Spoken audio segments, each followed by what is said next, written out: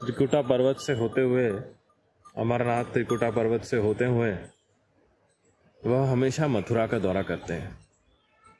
हरि के स्थान, गोपाल जी के स्थान जाते हैं। वहाँ देवी माता का दर्शन करना, नंद नंद महाराज का दर्शन, के दर्शन करना, बलराम जी के दर्शन करना। स्मरण करना उन्हें, उनकी प्रतिमाओं को। यह करने के लिए वो मथुरा समय समय पे कभी कभी कुछ वर्षों में आते हैं। तो इस बार समय इतना अच्छा रहा। कोई एक व्यक्ति है, पत्रकार है वो, जो साधुओं का वीडियो बनाते हैं।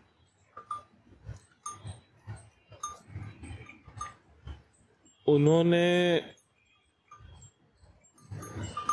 उनके दर्शन पाए।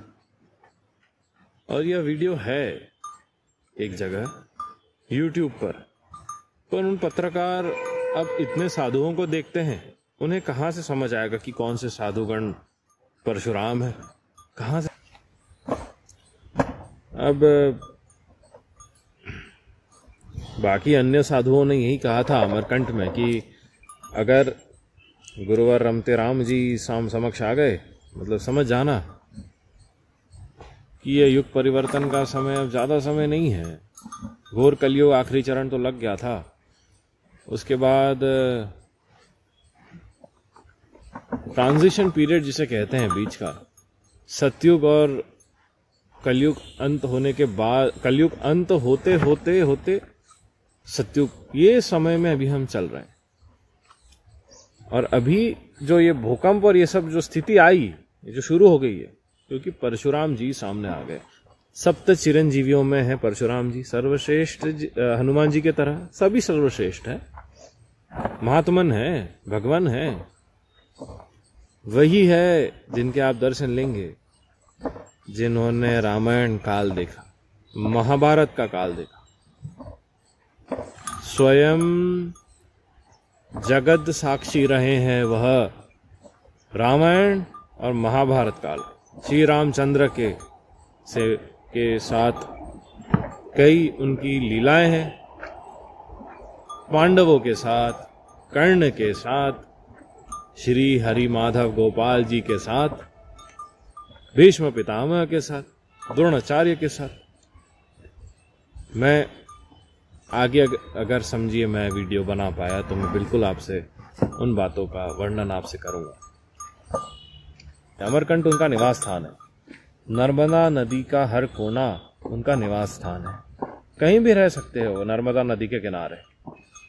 क्योंकि वहीं आसपास उन्होंने परशु प्राप्त करने का उनकी उनकी साधना रही है।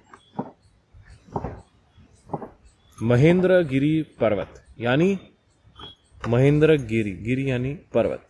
महेंद्र पर्वत अमरकंठ को ही कहते हैं। तो अमरकंठ, उनका निवास स्थान है। भ्रमण करते हैं वो। रमते राम इसलिए नाम है उनका, क्योंकि रमण इस प्रकार करते हैं। अन्य साधुगण जो पीछे रहते साधुगण वह जो वनवासी है, जो एसी कूलर के अंदर बैठे हुए हैं और बड़े बड़े मंत्रियों के साथ वीडियो बनाकर, जो हाथ मिलाकर, गले मिलाकर माला पहन के जो भाषण दे रहे हैं ना, प्रवचन दे रहे वो नहीं। वो नहीं है। वो नहीं है। वो ढोंगी है। ढोंगी है। हम प्रमाणित नहीं करते उन्हें। नहीं करते।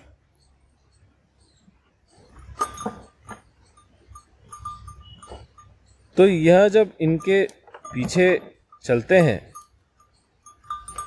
तो परशुराम जी की आदत है ऐसा वृक्ष है सामने। वन के अंदर कोई बड़ा वृक्ष के पीछे चले जाएँगे। और वृक्ष के पीछे से फिर वो दूर में वृक्ष है, वहाँ दूर वृक्ष के पीछे से निकलेंगे। अब पीछे अन्य साधुगण जा रहे हैं। बोले, ये रमन तो राम है। रमन करने का इनका कोई ठिकाना कहीं ये नहीं कि कहीं आप यहाँ तो यहीं से सीधा वहाँ निकलेंगे वहाँ। इच्छा, लीला। प्रश्न नहीं कर सकते आप। उनसे। कई बातें हैं। साल, वर्ष निकल जाए, इतनी बातें। हैं कहने की तो बड़ी इच्छा होती है। परशुराम जी, अगर आप पूछे, अभी भोजन क्या करते हैं? पत्ते खाते हैं? कंदमूल कंदमूल यानी कांदा नहीं प्याज नहीं तामसिक है वो।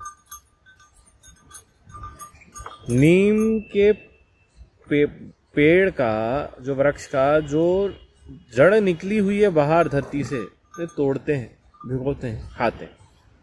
और ये तो ऐसी वृक्ष है मैं एक उदाहरण दे रहा हूँ। फन्नस के वृक्ष का पत्ता। खा लिए?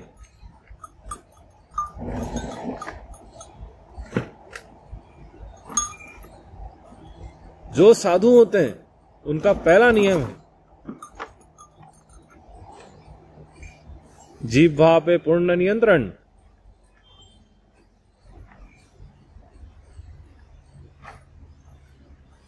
पहला नियम होता है जी। अब अन्य साधुगण इन्हीं को देखकर वह ज्ञान प्राप्त किए हैं।